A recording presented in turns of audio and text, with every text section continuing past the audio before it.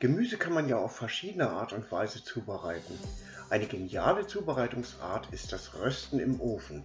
Deswegen zeige ich euch hier mal gerösteten Blumenkohl aus dem Ofen. Teilweise mit Mozzarella überbacken. Oh, ein Hochgenuss kann ich euch sagen. Und wie ich den Blumenkohl geröstet habe, das erfahrt ihr in diesem Video. Ich bin Kalle und ihr seid bei du mit Kalle. Herzlich willkommen!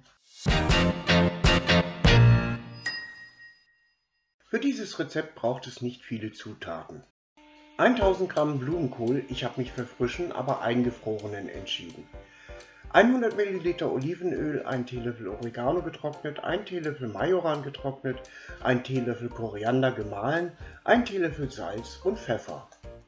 Zunächst wird der Blumenkohl in mundgerechte Stücke geschnitten. Aus den restlichen Zutaten wird eine Marinade gemischt, die kommt in eine große Schüssel und da kommt der Blumenkohl rein. Alles gut vermengen, sodass der Blumenkohl komplett mit der Marinade überzogen ist.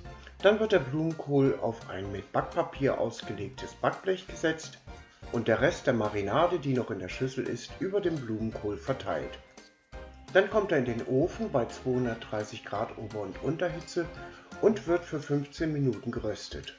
Zwischendurch einmal wenden. Nach 15 Minuten wird das Backblech kurz entnommen und der geschnittene Mozzarella auf den Blumenkohl verteilt. Und jetzt kommt das Backblech für 5 Minuten nochmal zurück in den Ofen. Dann kann auch schon angerichtet werden. Ich habe ihn als Beilage zum Backfisch genommen. Und mehr braucht es nicht für eine tolle Mahlzeit. Ein einfaches und schnelles Gericht. Weitere Tipps für einfache und schnelle Gerichte findet ihr hier oben in dieser Playlist. Das war's von mir bis hier. Tschüss, euer Kalle.